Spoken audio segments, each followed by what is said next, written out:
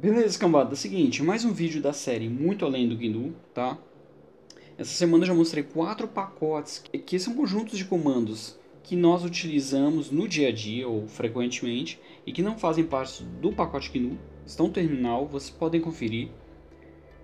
Mostrei também no blog mais um pacote que é o procpc, que é um conjunto de comandos onde a gente tem, por exemplo, o comando top, o comando ps, o comando free, e que também não é do pacote GNU, são todos do Linux. Então são um total de 5. Agora o que, que acontece? Mandaram para mim no Wikipedia a lista de pacotes do GNU. É nessa lista consta do chains, bibliotecas e frameworks, compiladores, interpretadores, ferramentas de desenvolvimento e um monte de coisa. Tá bom, em sistema base, por exemplo, nós temos aqui o nome, descrição, o que, que ele fornece a versão. Primeiro é o bash, depois vem o core utils, depois cpio, o diff utils, o find utils, finger, grep, groff, o grub, gzip, isso aqui são tudo pacotes GNU mesmo. Depois veio o Herd, que na verdade o nome desse kernel é GNU que eu já fiz um vídeo aqui no canal mostrando isso, se quiser, link vai estar na descrição, vai aparecer nesse vídeo até no final do vídeo, tá bom? E depois vem o iNet Utils, que de acordo com o que está escrito aqui, são ferramentas úteis para a rede, tá? Aí consta, por exemplo, lá o FTP, Telnet, o RSH, o RLogin, o TFTP. E galera, nada disso aqui é do GNU, tá? Eu fui no próprio site do GNU, né, onde eu baixei o iNet Utils. E se você for em README dele, ele até consta que são utilidades individuais que foram originalmente derivadas da distribuição 4.4 BSD Lite 2. Ele ainda consta né, que muitos recursos foram integrados do NetBSD, do OpenBSD, do FreeBSD e do Linux. Sempre quer colocar aqui no Linux só para a paixão dele. Então tá, galera, eu trouxe mais dois pacotes aqui para vocês, que um deles é o NetKit e o IPUtils, tá? Por quê? Se você pegar alguns desses comandos, por exemplo, da um man ftp ou man telnet, você vai ver descrito exatamente o pacote NetKit. Esse pacote NetKit, galera, na verdade ele é originado de uma galera da Itália. E eu até juntei algumas informações aqui que, por exemplo, no arquivo install, a galera informa que o NetKit roda somente no sistema operacional Linux. E assim, ele independe de qual distribuição, tá bom? Eles até notam que o projeto vem seguindo no passado com contribuições significativas de um grupo chamado Linux User Group, ou seja, o grupo LUG, exatamente o de Roma. No README mesmo do programa, os caras agradecem ao Linus Torvalds pelo Linux, a todas as pessoas que trabalham no kernel Linux, a Jeff Dyke, Paolo Giarusso, Giarusso, não sei como é que pronuncia isso, e a outros contribuidores pelo User Modes do Linux, tá? Link vai estar na descrição desse pacote.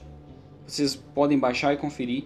Ah, compilar e instalar? Não, porque esses programas já vão estar no, na distribuição Linux, tá bom? Qualquer distribuição Linux é muito fácil ver. Pode ser que uma ou outra talvez não tenha, mas é bem difícil. E o outro pacote é o IPUtils. Porque se você der o comando man ping, lá no final ele vai até constar esse pacote, por exemplo, em disponibilidade, que o ping é parte do pacote IPUtils e as últimas versões estão disponíveis em forma de código-fonte e tá o link do negócio. Se você for ver, por exemplo, no history dele, ele fala que o comando ping apareceu na distribuição 4.3 do BSD. Logo em seguida ele fala que a versão descrita aqui é a sua descendente específica para o Linux. Como na versão 15 de agosto de 2015, o binário do ping 6 não existe mais e ele foi difundido para dentro do ping. Criar um link simbólico para o ping 6, apontando exatamente para o ping que resultará no mesmo, nas mesmas funcionalidades de antes. Também não precisa, bom, vou deixar o link na descrição, mas você não precisa baixar o pacote é, IP utils e compilar. Até o make dele é meio estranho, ele fala assim, ó, se der errado o make, se lasca. Só o make no doc mesmo que ele fala para você dar uma conferida do que acontece. Mas é isso, eu quis mostrar mais dois pacotes, tá bom? Já foram cinco essa semana e agora mais dois, que somam um total de sete pacotes que são do Linux e não do GNU. Então muito cuidado, galera. Se vocês quiserem saber mais o que é Linux, o que é GNU, galera, pesquisa. Vai no man do próprio pro programa. Lá no final descreve a origem dele. Para quem que ele foi feito. Olha o que eu vejo que a maioria dos programas do projeto GNU é que eles pegam de alguém junto e falam assim, ó, temos um programa. A maioria das vezes é isso, o kernel deles é assim, O Linux Libre também é assim. Esses pacotes todos são assim. Geralmente um monte de coisa que eles pegam de alguém e falam que é deles. O GIMP também não foi assim. GIMP não veio do projeto GNU. GIMP era um projeto de uns caras da faculdade, uns dois ou três caras da faculdade, que se juntaram um projeto GNU, porque era o jeito mais fácil de alavancar a coisa. Até o comando patch veio assim. Quem criou o comando patch, que eu me lembro, foi Larry Wall, criador da linguagem Perl.